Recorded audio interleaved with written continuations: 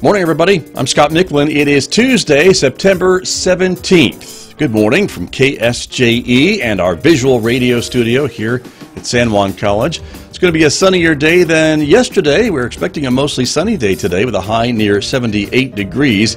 Partly cloudy overnight tonight with a low of 56. 79 tomorrow, 80 on Thursday. 79 again on Friday, upper 70s again for the weekend, and overnight lows getting down to the mid 40s. Definite change in the seasons is upon us.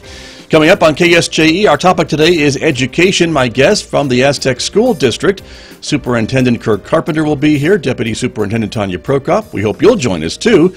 Coming up this morning at 8:10 a.m. And again, lots of options to do that. Listen to your radio, 90.9 FM in San Juan County, 103.3 FM in the Durango, Colorado area now. Worldwide, of course, listen on our website at ksje.com or watch the visual radio program streaming live to our KSJE YouTube channel or our Facebook page.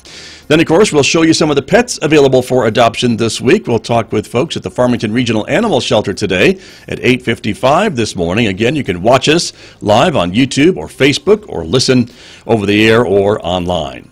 Mick Hess is going to be here roving with the arts after the news at 9.06 a.m. today. And this morning, Mick is playing some great waltzes from the composer Franz Lehár. That's coming up today on Roving with the Arts. He'll have you dancing around the living room on Roving with the Arts on KSJE. Don't forget, connect with us on social media. You can like us on Facebook, subscribe to our YouTube channel, follow us on Twitter, and check out KSJE now on Instagram as well.